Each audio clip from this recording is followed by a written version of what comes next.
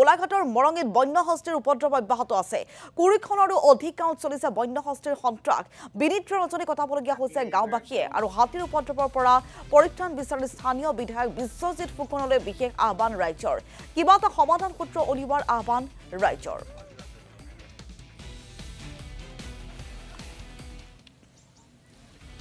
মানুহৰ সংঘাতৰ কাৰণে আমি দৈনন্দিন উশাহ নিশাহ ল'ব পৰা নাই।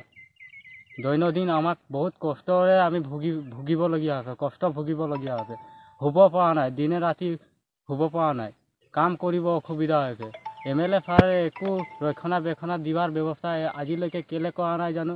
এই মিৰি পথাৰ লাইনত সেইখিনি দি ৰাতি সদায় হাতী পাৰ হয় সেইখিনিত এই এটা চলাৰ ব্যৱস্থা কৰিব লাগে সেইখিনিতো চলাৰ ব্যৱস্থা কৰি কৰি দিয়া নাই।